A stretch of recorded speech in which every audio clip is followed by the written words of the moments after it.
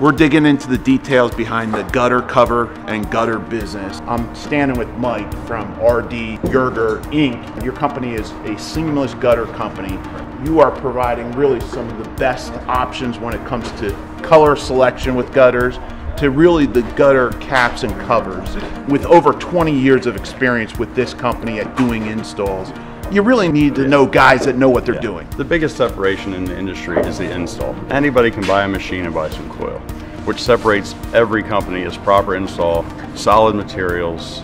A lot of companies use a hanger that has a pre-built screw in it. It's a cheaper material, and they tend to flex over time. There's so much expansion and contraction between the seasons. We upgrade everything to a high quality product, so we don't have callbacks, and we treat every house as if it were our own. So end of the day, customers are happy. We get good mouth referrals that way instead of a lot of advertising. It seems to be better for our industry. As a homeowner, you know, I'm, i get concerned. People working on my roof, you know, touching my shingles. Mm-hmm. Tell me why I shouldn't be concerned. The most times during the summer seasons, they're very flexible. Once the sun glues your shingles down, we use a metal scraper and we separate them. We're not forcing them apart, we're not ripping them apart. And in the winter, we also have a separate piece of metal trim will feather into your shingle roof. So again, we're not lifting it up and we're not compromising the integrity of your roof. Every shingle company, they give us literature stating what we're allowed to do and what we're not allowed to do. And we never break any of their codes as far as maintenance or warranty for the homeowner's roof. So in turn, we make sure the product is installed properly and we're not voiding someone's warranty.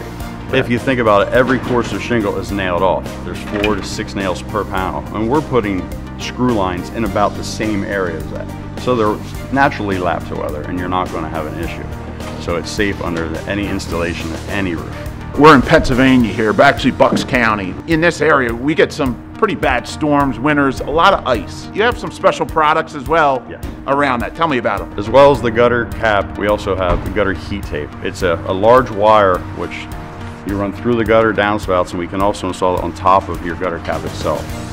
You can switch that on yourself. You can have it hooked up so it's an automatic system. It'll fire off when it's below 30 degrees, 29 degrees, and that works wonderfully. It melts the ice from the front nose of your gutter, through your gutters, and through your downspouts. So they will run clean and they will never ice up when that system's installed.